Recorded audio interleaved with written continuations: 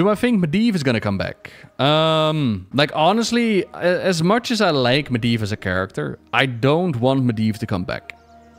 And the reason for that is that he had a good he had a good story, start to finish. What can they do with bringing him back but only fuck it up, right? Look at what happened to Arthas when they brought him back. I don't want them to treat Arthas like Medivh. Of, uh, like Medivh to Arthas. Uh, when it comes to the, the story behind Medivh, as far as I'm aware, um, Medivh was killed by his friends. Enemy Khadgar, right? The whole corruption. Uh, Garona, I believe she's still there. And then brought back by his mother, who stored up magic resurrected him, and the events of Warcraft 3 played out, where he goes around the world being the Prophet, no longer the Guardian, but like the Prophet, warning people. Well, he was the Guardian, I think.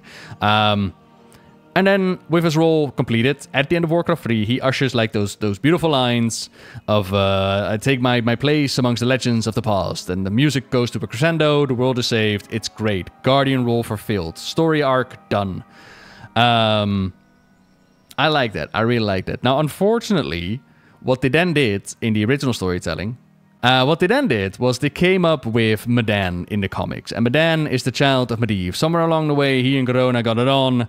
They um, they got Med'an, and um, yeah, Med'an could do everything. Med'an had like guardian powers, he had elemental powers, he had void powers. Med'an, whatever he touched, he could do. And he went through a whole storyline in which he got like the, the, the staff of the guardian, he took on C'Thun, he took on Cho'Gall, um, the, the, meeting at Theramore. There were a lot of moments connected to the Med'an storyline. Um, but Med'an himself never made it into the game and was purely to the comics, and he kind of just sucked, in my opinion. Um, then the Chronicles came out and they decided, you know what, we're just going to write Med'an out of the story. But they never explained what happened to his mother. Like his mother sacrificed herself in the original story to cleanse the staff for Med'an, but now that Med'an is gone, what the heck happened to Aegwynn? When did she die? Did she die during the bombing of Theramore? Did she die earlier? Like what? They never explained.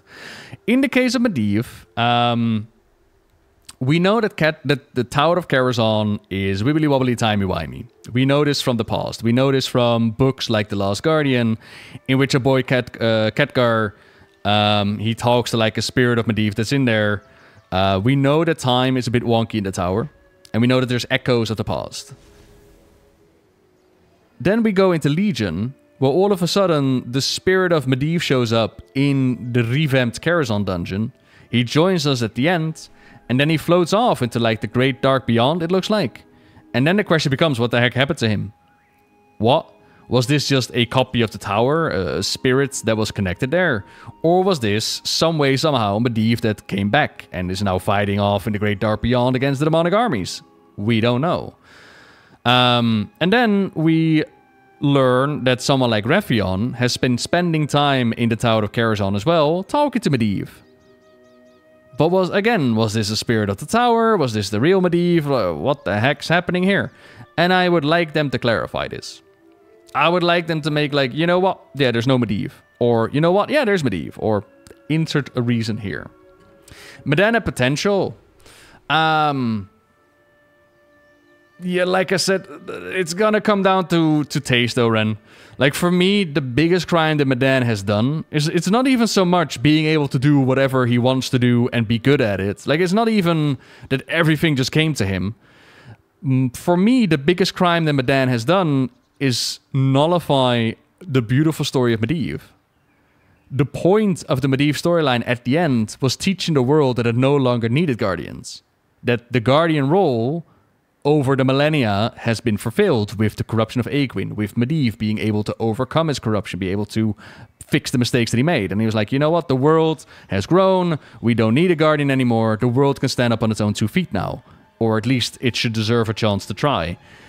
And instead, what they did was like, lol, lol, lol, lol. Nah, that's not true though. Nah, actually, he has a child. And actually, that child is now the new guardian. Lol, lol, lol, lol, lol. And like, ah, okay. That's why I'm quite happy that they never officially made Khadgar the Guardian. I'm quite happy that there is no Guardian.